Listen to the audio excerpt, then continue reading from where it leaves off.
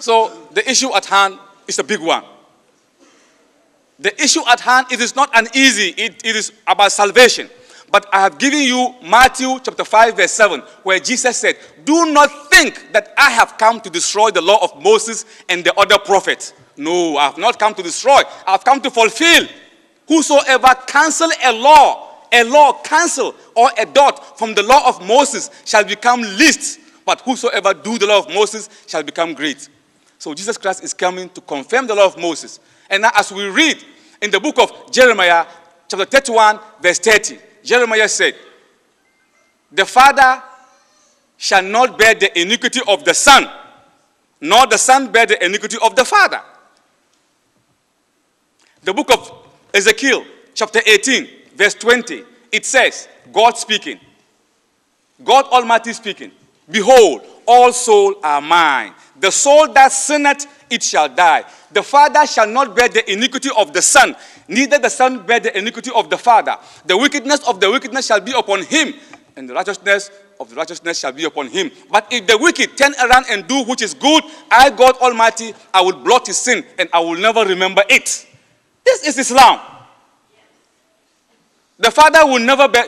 Why would Allah burn me in hell? When Adam ate the apple, was I there? Did I ask Adam to eat the apple?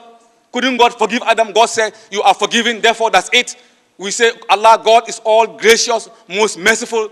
Yet he couldn't say, Oh, Adam, you are forgiven. He said, You know what? This sin is too great, it's too powerful. I cannot forgive. What I'm going to do is this that I'm going to wait 5,000 years after Adam. I will come in the womb of a human being, a Mary, and then she will give birth, and I will become a human being, and I will walk and talk, and then I will be beaten, I will be kicked, I will be slashed, I will be cut, I will be beaten, I will be stripping naked, and then with a napkin hung on the cross, then my blood will suffer.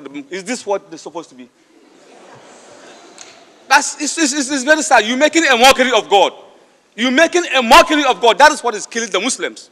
You're making a mockery of the Savior. That, that, that, that, that God Almighty will come on earth and die. Okay, when He died for three days, who is controlling the universe? Galaxies, seas, oceans, nations.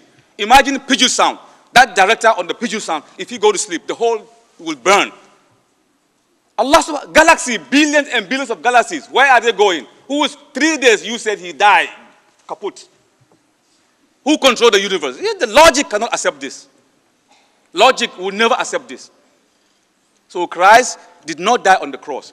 Why did I say that? If you look at the book of Mark, book of uh, Luke 24, 36. When the disciples ran away, they didn't know what happened. They didn't know where Jesus went. What happened to him, they don't know. They went to the upper room. So Jesus walked in the upper room. Luke 24, 36.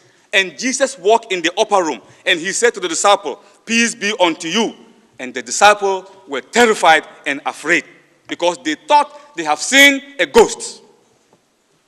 What did he say? He said, Peace be unto you to the disciple. That's what the Bible said. Luke 24, 36. Check it out. Luke 24, 36. Jesus walked in the, you know, in the upper room and the disciple, and he said, Peace be unto you. I'm asking, did Jesus say, Peace be unto you? Did he say, peace be unto you in English, what language did he speak? Hebrew or, or, you know, Aramaic. In Aramaic, how do you say peace be unto you? Peace be unto you in, he, in, in Hebrew and Aramaic is shalom aleichem, which is what we say, salam alaikum. Have you ever said salam to, to, to, your, to your friend? No. We follow Jesus. We say salam alaikum to us. So when he came to the upper room, he said, Shalom Aleichem. And they said, Wa Aleichem Shalom. Instead of saying Wa Aleichem Shalom, they said, and they were terrified and afraid because they thought they have seen a ghost. Why are they thinking that it's a ghost? Because they thought he was on the cross. They didn't see him. So Jesus Christ want to assure them.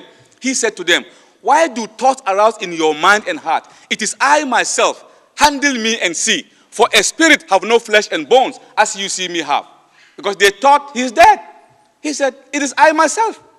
Touch me and see. Look, you think I'm a spirit? Handle me and see. For a spirit, meaning any spirit, have no flesh and bones, as you see me have. And they touch him. And why they were not happy for joy. And he wants to convince them further that it is him, flesh and bones. He said, Have you here any meat to eat? And they gave him broiled fish and honeycomb. And he took it and he ate it in their very sight. And they were overjoyed. And they went and told the other disciple. And they told, they told Thomas, the doubting Thomas. And so they said, Thomas, watch what they say. They said, Thomas, we have seen the master and that he was alive. They didn't say, Thomas, we have seen the Master and that he was resurrected. If the Holy Ghost inspired them, he would have said, Thomas, we have seen the Master and that he was resurrected. But they say, Thomas, we have seen the Master and that he was alive. Meaning, we expect him to die, but he didn't die, he was alive. Suppose you have an accident and that accident looks like you're going to die. But later, you know, the fire service brought the jaw of life, they bring you out. They Say, oh my God, they are alive, meaning they did not die. So Jesus Christ did not die on the cross. He did not die on the cross.